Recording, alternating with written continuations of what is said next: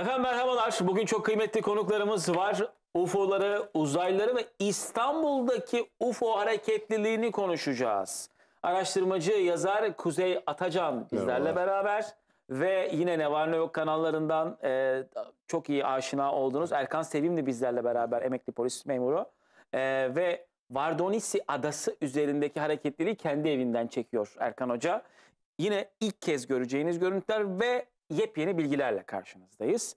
E, hoş geldiniz diyelim ve Hoş bulduk. ne, neyle başlayalım? Direkt Erkan Hoca'nın çektiği yeni görüntülerle değil mi? Evet, öncelikle hoş bulduk. Uzun zamandan sonra sizlerle olmak çok güzel. Teşekkür Ee, ederiz. Yepyeni görüntülerle. Çok soranlar oluyor size. Evet. Çok, selam var üzerimde. Özellikle Azerbaycan olsun, yurt dışından, Almanya'dan birçok yerden e, Bana yazanlar, çizenler, dışından- soranlar oluyor. Hepsine saygı, sevgilerimi iletiyorum. Ee, gerçekten çabaladık, çok uğraştık, çok şeyler biriktirdik. İnşallah faydalı bilgiler paylaşacağız bugün de. Kuzey Hoca'yı inşallah daha sık e, burada Evet. misafir edeceğiz İnşallah. diyelim. Bir numarayı versin o zaman arkadaşlar Evet. değil mi? Bir Evet, numara. Ayağa da kalkalım Tamam. dilerseniz. Hocalar. Kuzey Hocam siz de kalkalım Tamam. ayağa. Bu görüntü Amerika Utah'taki Skinwalker yanında. çiftliğinde e, görüntülenen cisimlerden bir tanesi. E, lazerle, e, kızılötesi lazerle sos veriyorum. Bakın şu oktaki e, yıldıza dikkat edin. Normalde cisim şu yönde giderken şu yıldızı geçtikten sonra sosu aldıktan sonra sos sinyalini yön değiştiriyor. Belki sizi daha önce izlemeyenler vardır. İlk kez izleyenler için şu hatırlatmayı yapalım. Erkan Sevimli'nin evi İstanbul Maltepe'de efendim. Evet. E, Maltepe'nin hemen önü Marmara Denizi kayıp Vardonisi. Bin yıldan fazladır kayıptır. Batmıştır ada. Ve Erkan Hoca der ki orada bir UFO hareketliliği var ve kamerasının farklı ayarlarıyla bunları görüntülüyor efendim. E, Kızılötesi Kızılötesi. teknik kullanarak bir de UFO dünyada UFO hunter'ların kullandığı e, Sionex isimli bir kamera var onlarla. Çünkü insan gözünde bir perde var 400 ile 700 nanometre arasını görüyor. Bu cihazlar kızılötesi e, ışık yayan e, cisimleri e, Peki görüntüleyebiliyor. bu ışık siz bunu gönderiyorsunuz değil mi? S- Kızılötesi gene gözle görünmeyen e, sos sinyali gönderdim bu cisme. Bu cisim aynı Skinwalker çiftliğinde görüntülenen cismin aynısı. E, History Journal'da bunun belgeseli yapılıyor o e, çiftlikle alakalı. Şu oku gösterdiğim yerde bakın e, bir yıldız var. O yıldıza Evet, kadar, evet. kadar gidiş istikameti bu yönde. Yıldızı geçtikten sonra sosu aldıktan sonra yönünü değiştirdi bu cisim. Kuzey Hocam. Türker Bey öncelikle şunu vurgulamak istiyorum. Şimdi bazı yorumlar geliyor. Görüntüleri izledikten sonra diyorlar ki işte bu kuştu, drone'du, uçaktı, uyduydu. Evet. Şimdi öncelikle uydu olması için belli bir yörüngede Biraz böyle dönelim hocam. Şöyle geçeyim hatta. Belli bir yörüngede sabit hareket eder. Yani uyduların bir e, yörüngesi vardır ve orada hareket eder. Gördüğünüz cisim ekstra bir manevra yapıyor. Erkan Bey'in müdahalesi sonrası o yaymış olduk lazerle beraber. Görüyorsunuz yukarıdan aşağı inerken bir anda rotasını değiştiriyor. Artı bu kadar yükseklikte bir drone olması zaten imkansız. Görüyorsun ki sabit bir ışığı yok. Bir yerden sonra parlıyor, küçülüyor falan formu değiştiriyor.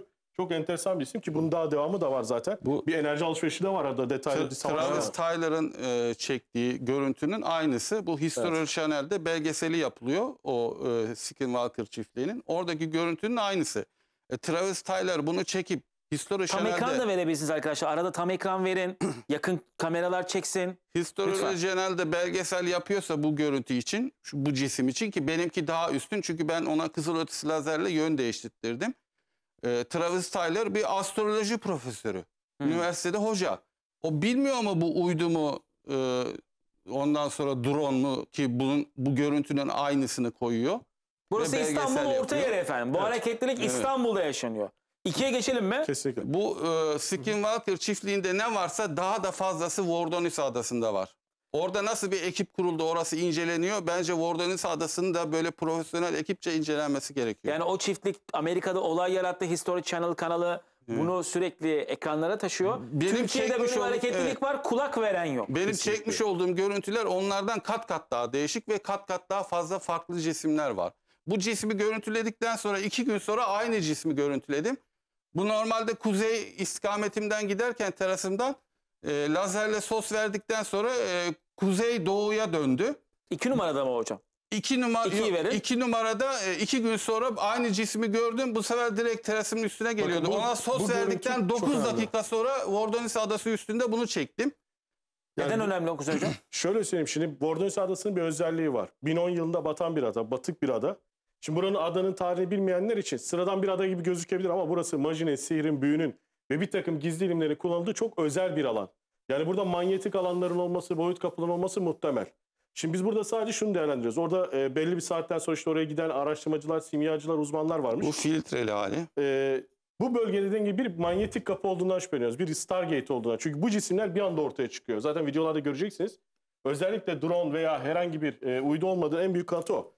Cismin geldiği herhangi bir yön belli değilken bir anda Bir cisim anda ortaya, ortaya çıkıyor. çıkıyor. Evet. Şimdi bu gördüğünüz cisme de her an drone diyenler olabilir. İşte uçak diyenler olabilecektir. Farklı şeyler söyleyebilirler. Ama formuna baktığınızda Meksika'da, İspanya'da veya işte Güney Amerika ülkelerine çeken uçan daireler birebir benzeştiğini zaten göreceksiniz çok net. Bir Yapısını. Bu Stargate'den Evet, bahsediyoruz. en son Evet. en sona bunun e, filtrelerden geçirilerek e, cismin şeklini ortaya çıkardım. Fotoğrafını koydum. O fotoğrafı görürsek zaten bir uçak olmadığı, bir drone olmadığı, kubbeli bir cisim Nerede o olduğu. fotoğraf hocam? 3 numara. Hemen bunun Görselde var hemen üç sonunda. bu görselin sonunda Evet. sona gelsin. Bakın. Evet bu. Evet. Şurada şöyle. Burada ama biraz parlak gözüküyor ama normal kanalımdaki Ya videoda bu, bu daha bir- net. şu değil yani. Uçak olamaz, drone olamaz, Kesinlikle yıldız değil. zaten hiç olmaz. Böyle bir yıldız olmaz. Zaten bakarsanız Şurada bakın şöyle bir kubbesi var bunun. yani bir prizmal bir şekli var ve etrafındaki ışıklara dikkat edin. Normalde bir drone'da ya da uçakta bir sinyalizasyon sistemi vardı. Ya kırmızı ışık yanar ki ben hava yollarında da çalıştım. Bir yeşil ışık vardı. Bir en fazla beyaz ya da sarı flaşörleri vardır. Bunda neredeyse bakarsanız tabii burada çok net seçilmiyor ama mavi ışıktan tutun da turuncunun farklı tonlarına kadar etrafı Sarı var, çevreleyen bir sarı ışık var. salınımı var. Artı kubbesi var ve altında da bir sinyalizasyon patlayan sürekli bir flashbang var. Bunun normalde videodan orijinalinde referans değerleri de var işte. Tam as- adası üstünde olduğu belli. Ben yayına kısalttığım için bu videoyu o referans burada çıkmamış ama kanalımda var yani. Peki. Üçüncü görüntü gelsin. Bu görüntü 2 Mayıs'ta çekilmişti. Burada çok çok, yeni. önemli, çok dikkat edin. 7 Nisan Bakın, 2023. Şu cisim sabit. Yukarıdan hareketli cisim onun tam yanından geçerken pat pat iki kere Aa, orada bir ener- çok enerji transferi oldu. Erkan Bey size göster. Tak tak iki Sanki kere. bir lazer atımı gibi bir Bu ışık patlaması var bakın. bakın. Bir, iki. iki tane bir e, enerji transferi Yani oluyor. bunların ikisi de mi bilinmeyen cisim acaba? Evet. İkisi de. Biri bir sabit biri transferi yapıyor. hareket halinde. Hareket halindeki silik bir şekilde gelirken tam bu sabit duran cismin yanında geçerken bakın Bir, bir iki. iki. iki tane orada bir enerji transferi olduktan sonra cisim bir anda parlıyor ama e, videonun devamında böyle geldiği gibi silik bir şekilde daha sonra tekrar devam ediyor. Bakın silinik geliyor pat pat iki tane aldı parladı tekrar Bir şey değil silik mi? bir şekilde devam Hakikaten etti. de siz de hocam, siz de hocam. Aslında şu anda Türkiye'de UFO terminolojisini değiştirecek şeylerin bulduğunuzun farkında mısınız İnşallah. bilmiyorum. Ben sadece Hani burada Türkiye'deki bu tarihi yeniden, belki de dünyadaki tarihi yeniden yazacak şeyler hiçbir görüntüler beklentim bunlar. yok. Sadece insanlarımızın biraz farkındalığı artsın. Kesinlikle Biraz hiç e, yok. farkında olsunlar bazı Ve biz şeylerin. bugün anlatılanların dışında çok farklı konular da anlatacağız. Zaten biz dinleyenlere sürpriz olsun. Konuların özetine geçeceğiz. Ama detaylandıracağımız programlar olacak. Yani hadi Bildiklerinin buna, buna, buna. Starlink deyin. Sabit durandan ona iki tane bir e, enerji Işın atıyorlar. transferi Yok, oluyor. Starlink zaten öyle tek olmuyor. Yani öteki Starlink sabit durmaz. Öteki ne o zaman? Bu aynı cismi bir sonraki videoda bu sefer gene aynısı Biraz oluyor. böyle dönelim hocam. Evet. Ha, evet biraz Gene öyle. aynısı oluyor. Peki bir sonraki video gelsin. Efendim İstanbul'un orta yerinde Bakın Vardonisi adasındaki şu cisim gene aynı cisim. O öteki görüntüden bir iki saat sonra çekildi. Gene ondan bir enerji transferi alıp silinlik Aa, gelen doğru cisim gidiyor. parlıyor. Fakat bu sefer yanından geçmiyor. Üstünden geçtiği için o enerji transferi pek belli olmuyor. Ama ben bunu yakın yaptığım zaman bir de filtre uyguladığım zaman aracı, aralarında bir enerji transferi olduğu çok belli. Normalde sildik geçen cisim bakın aynı Bir cisimden kozmik yani temas bir yaşadıktan sonra Ne oluşuyor. oluyor parlıyor. acaba orada?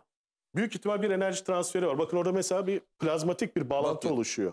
Sonra alıyor onu kopuyor görüyor musunuz? Daha öncesini yukarı doğru? hatırlarsınız güneşten enerji çeken bir takım gezegensel böyle büyüklükte e, araçlar vardı. Bunda da büyük ihtimal böyle bir enerji alımı var. Sizce e, bir UFO ne kadar büyük olabilir Türker Bey? Şimdi size çok enteresan Yani bir görüntü çok göstereyim. enteresan filmlerde şey. gördüğümüz hani Türkiye'de bir ilk olacak. İlk defa ne var ne yok. Ne kadar büyük olabilir? olabilir yani sizce? bu kadar mı? Daha da büyük. Ba- Keşke. Daha büyük ne olabilir? Ne kadar olabilir? Bir gezegenle mesela kıyaslarsak olabilir mi sizce? Ciddi misiniz? Kesin. Devasa- yani. Normalde göre- öyle görmedik. devasa kayda alınan UFO'lar var. Gezegen belki de dünyadan bile büyük. Güneşten enerjisini e, e, çeken, kullanmış olduğu enerjiyle de alakalı olabilir. Ondan kopan birçok görüntüler var. Şimdi Ayrıca bizim e, 338 yılı ışık uzaklıktaki bir Evet. sistemden bahsediyoruz ve o mesafeden Bizim Avustralya. Sydney'deki dostumuz Murat İlhan tarafından tespit edilen e, yaklaşık 15-20 tane kadar dünyayı içine alabilecek bir protipi Ne diyorsunuz Bana ya? yeniden e, bahsediyor. Şimdi evet, tespit göreceksiniz ettik görüntüyü. Google Bundan Sky'da. sonra mı? Birazdan Bu görüntü Birazdan. içerisinde ve 2008 yılının orijinal görüntülerinde bu görüntü var. İsteyenler bakabilirler. Google Sky'da, Sky'da bu Google görüntü Earth'ün kayıtlı. içindeki Ama bir e, 2008 menüde. sonrası görüntüler kaydı yani Orada e, her yeri gezebiliyorsunuz ya Google Earth'te.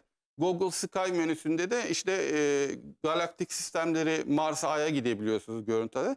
2008'deki Google Sky'da e, bir prototipi Birazdan belki de o ikinci videoya kalmış Onunla oluyor ilgili efendim. O yüzden anlatacağım. devamını takip Bu edin. hatta o Devam ke- edelim, bir keşfi, sonraki gelsin. keşfi de Sydney e, ar- e, şey astronomi kulübünde inceletiyor. Yine bir Türk dostumuz. 20 Şubat Evet, 2022. bu cisim gene böyle gelirken normal bir hızla bir anda oka bakın orada bir şey yanıyor ve onu yanına alıp tekrar devam ediyor.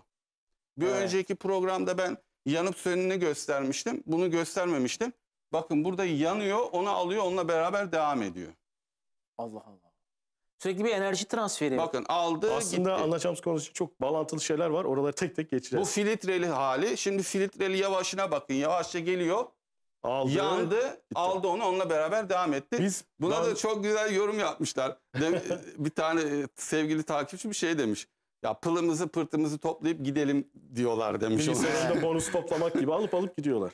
Evet. Şimdi bizim bugün konularımız içerisinde çok enteresan şeyler. Görünmeyen bazı varlıklardan da bahsedeceğiz. Uçan daireler gerçekten hepsi metal mi, mekanik şeyler mi? Yoksa organik e, varlıklar da mı var?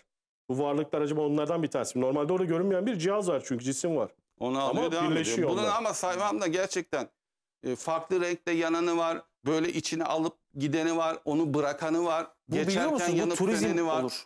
Maltepe'de Bu Vordonis İstanbul'da Adası'nın bu üstü. turizm olur. Vardonis Ve Adası'nın izin kayıp. Yani Çok şeyler bendeki çıkacak görüntülerin yüzde yirmisiyle e, Skinwalker çiftliği belgesel oluyor. History Channel'da belgesel olarak sunuluyor. Bendeki görüntülerin yüzde yirmisiyle. Bende daha fazla. İnanılmaz. Devam edelim. Sonraki gelsin efendim. Yani Vordonis'i de daha büyük bir şey var.